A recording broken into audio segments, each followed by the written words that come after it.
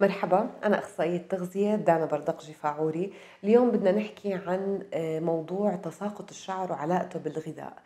طبعا أكيد في كتير منا بنعاني من هذا الموضوع وخصوصا السيدات.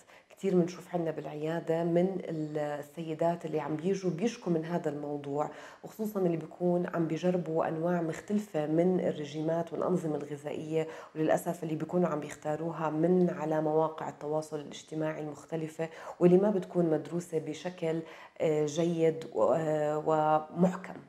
اتباعهم لأنواع مختلفة من الأنظمة الغذائية اللي بيكون آه، بتفتقر للفواكه للخضروات للحليب لأنواع البروتينات المختلفة اللي هي بتحتوي على أساسيات مكونات البروتينات اللي بتهتم بالشعر وبتهتم ببناء الشعر بشكل جيد وتعويض الخلايا اللي عم بيفقدها بتفقدها البشرة أو بيفقدها الشعر.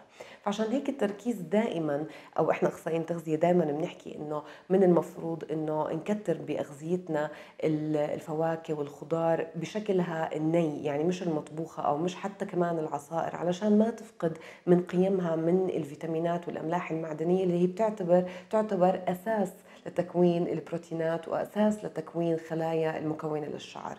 تساقط الشعر لمدة طويلة ممكن طبعا يؤدي إلى مشاكل كتير.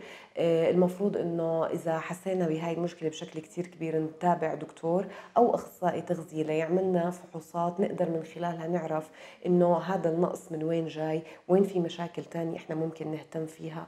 ومن بعدها نبدأ نصلح بالنظام الغذائي شوي شوي علشان نقدر نحل هاي المشكلة ونتفاداها. يمكن الأثر ما يكون مبين بشكل فوري وسريع وإنما رح ياخذ وقت على مدة معينة ممكن أخصائي التغذية إنه يحددها للشخص نفسه. أخذ بعض أنواع من الفيتامينات والأملاح المعدنية كمان ممكن كتير يساعد على آه، تحسين الوضع بشكل عام. نصيحتي لكل اللي عم بيتابعوني إنهم يهتموا بأغذيتهم ويهتموا بأكل الفواكه والخضار بشكل أخص وما يتبعوا أنظمة غذائية ياخذوها من أي مصدر غير موثوق فيه.